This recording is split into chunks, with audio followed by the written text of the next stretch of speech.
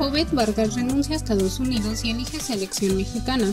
El joven futbolista Obed Vargas renuncia a Estados Unidos y elige selección mexicana, en otro de esos casos que tienen la doble nacionalidad y que están esperando por una decisión importante dentro de su carrera.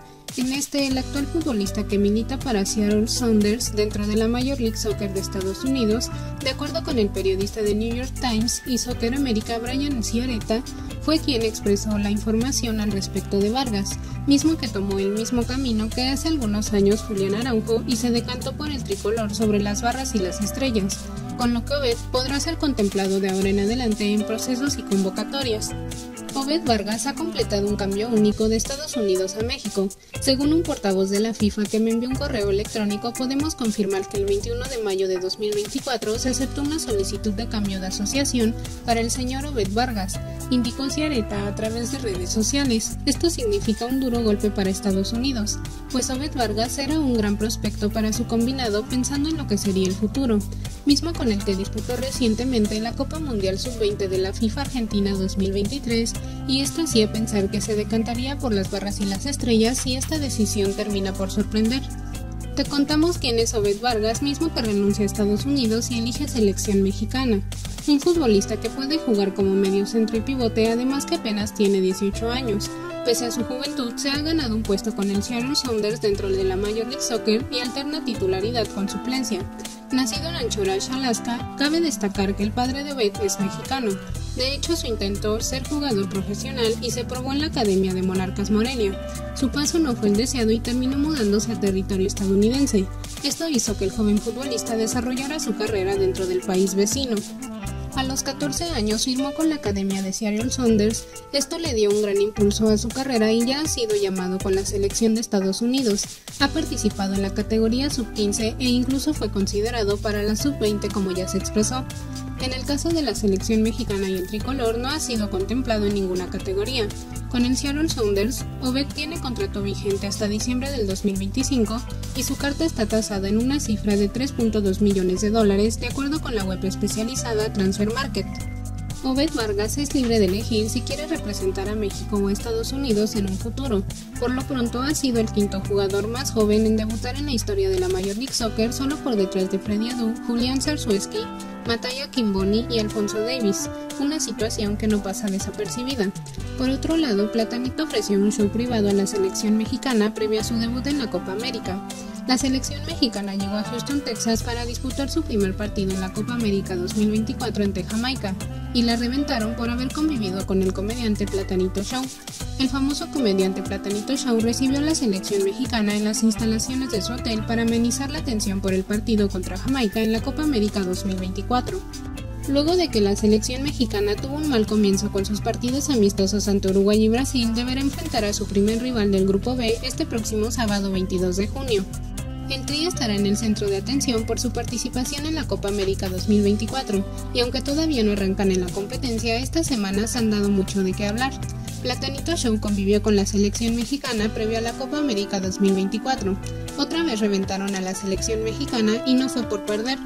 La razón fue porque tuvo una convivencia con el comediante Platanito Show cuando llegaron a su hotel en Houston, Texas para su partido ante Jamaica en la Copa América 2024. Platanito Show alcanzó a la selección mexicana en su hotel para sorprenderlos y tener una convivencia que según Jaime Lozano le ayudará al equipo para que esté más unido en la Copa América 2024.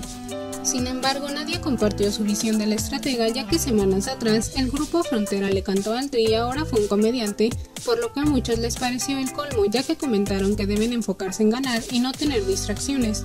Esto ya se había visto antes, ya que cuando Ricardo La Volpe dirigía al Tri, el comediante Platanito también tuvo un momento de interacción con los jugadores.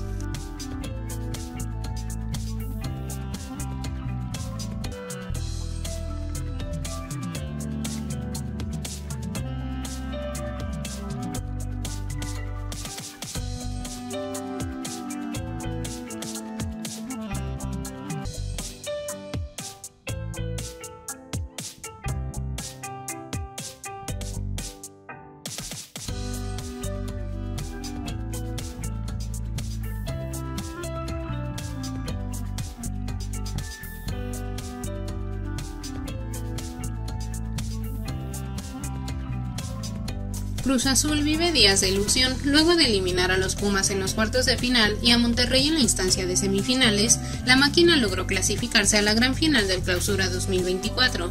Ahora el equipo cementero buscará obtener su décima estrella contra el América en una serie que ya tiene días y horarios confirmados. Sobre el camino de Cruz Azul en la presente liguilla de la Liga MX, cabe apuntar que los duelos contra el equipo de la UNAMI Rayados, más el segundo, estuvo cargada de emotividad y muchísimo sufrimiento. En tanto, vale destacar en ambas series un futbolista ha brillado con luz propia, Rodrigo Huescas. Si bien cada uno de los jugadores cementeros ha sido fundamental en el desempeño de la máquina, el canterano celeste ha destacado poquito más que sus compañeros en los cuatro partidos de la liguilla, resaltando en funciones defensivas y siendo desequilibrante cuando se suma al ataque. En tanto, sobre la figura del futbolista formado en las divisiones inferiores de Cruz Azul, destacó un dato que confirma su sublime estado futbolístico.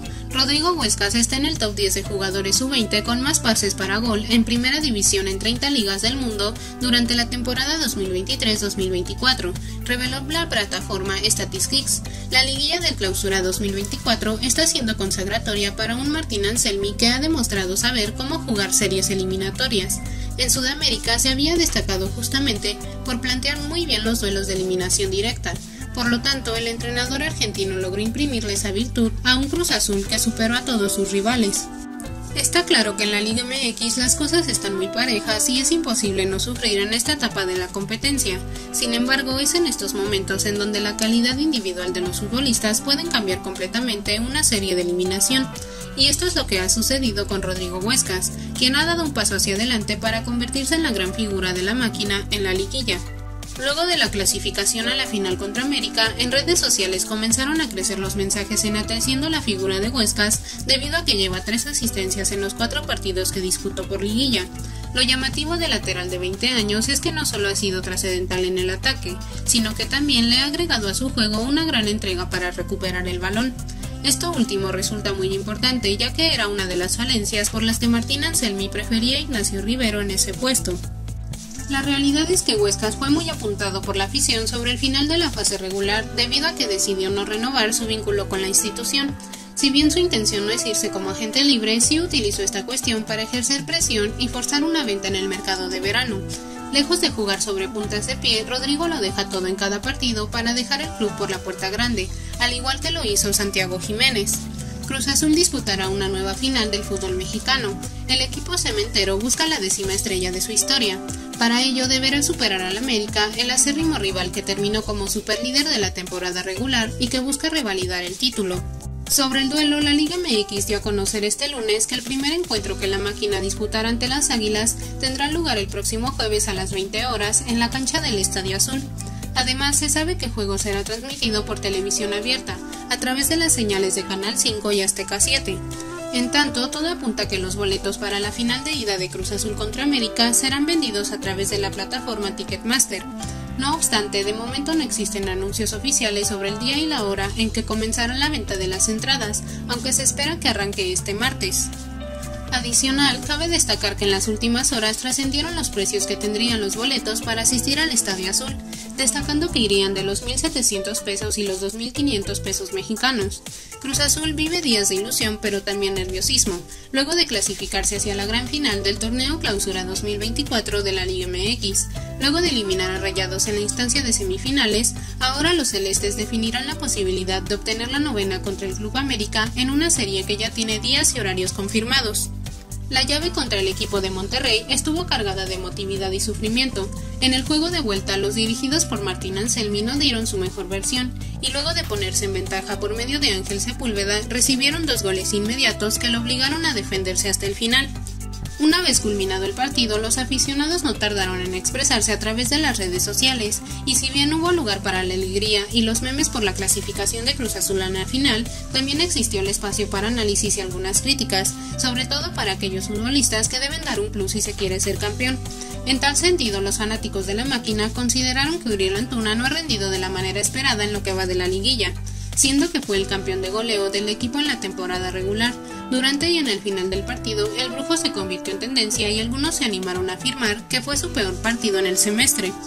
Previo a la Copa América, Quispe tomó unos días en su país, Perú, en el que se dio tiempo de dar entrevistas y dejando de lado el tema deportivo, el mediocampista se dio el lujo de hablar de su vida personal, por lo que ha hecho más clic con sus seguidores de lo que ya tenía. En una serie de preguntas se le cuestionó al jugador de la UNAM en caso de no haber sido futbolista a qué se hubiera dedicado, y el jugador sorprendió a todos con su respuesta, tanto que sus fans le dieron comentarios positivos. Dijo que él hubiera sido taxista, pues su papá tenía un servicio de transporte, por lo que consideró que ese podría haber sido su destino en caso de no haber llegado al fútbol profesional. Además, dijo que le gusta escuchar reggaetón. Esta entrevista sirvió para que la gente vea un Piero distinto, más cercano y lleno de energía. En estos momentos nadie duda de que Piero Quispe tomó la mejor decisión de probar suerte en el extranjero, y qué mejor hacerlo que en una liga altamente competitiva del continente americano como lo es el torneo mexicano. Es más, se espera que el volante pueda seguir en crecimiento y que se gane un nombre de relevancia en los Pumas de la UNAM, aunque recientemente se ha podido conocer que antes de cerrar este acuerdo tuvo la gran posibilidad de haber llegado a un histórico de la Liga Española como es el Rayo Vallecano. Al estadio con mi representante y hablamos con el presidente y scout del club y dieron el visto bueno. Me fui feliz porque sabía que había hecho las cosas bien ese año. Disfruté más todavía de mis vacaciones con esa noticia. Sí, me pidieron que espere, pero tú sabes que la oportunidad en la vida te llega solo una vez. Y me llegó la propuesta de Pumas y no lo dudé, dije que sí me quería ir confesó la joya nacional en una reciente entrevista con el programa La Fe de Cuto en señal de que no lo dudó dos veces cuando apareció la propuesta del equipo mexicano, que ya desde España le dijeron que debía esperar. Es de esta manera que el futuro deportivo de Piero Quispe pudo haber sido totalmente distinto si es que tomaba la decisión de esperar al Rayo Vallecano de España, tal y como le habían comunicado desde la directiva. Pero no fue así y todo parece indicar que optó por el mejor camino posible al fichar por los Pumas de la UNAM ya que a pesar de las duras críticas que ha recibido y que por cierto hace unos días respondió con calidad ante la prensa local, no se puede negar de que todavía tiene un techo mucho más alto. Las veces que Claudia Sheinbaum traicionó a Pumas, pero esta ocasión recordamos el día en que le rompió el corazón a los universitarios al traicionarlos con otros felinos muy regios, Estamos hablando de los Tigres, de quienes usó su jersey del equipo femenil y aprovechó para posar con dicha indumentaria, lo cual presumió en redes sociales, lo que no vieron con buenos ojos los fanáticos auriazules. Llegamos a Coahuila con un recibimiento muy cálido, me cantaron las mañanitas. Unos compañeros viajaron desde Nuevo León para regalar una playera de los Tigres, aunque debo confesar que mi corazón sigue con los Pumas, gracias. Este duro golpe lo sufrieron en su visita a la Sultana del Norte en junio de 2022 pero no fue la única ocasión que hizo pedazos el cariño que le guarda al equipo de Ciudad Universitaria, pues en junio de 2023 volvió a hacerlo, pero esta vez con la playera del equipo varonil y además hasta una cascarita se echó con el jersey puesto. Pero dichos momentos se dieron porque se encontraba de gira en diversas partes del país esparciendo lo que sería su precampaña para la candidatura a la presidencia de México, lo cual le fue más que redituable, pues este domingo 2 de junio consiguió su cometido y tras 200 años de democracia logró ser la primera mujer en la silla presidencial.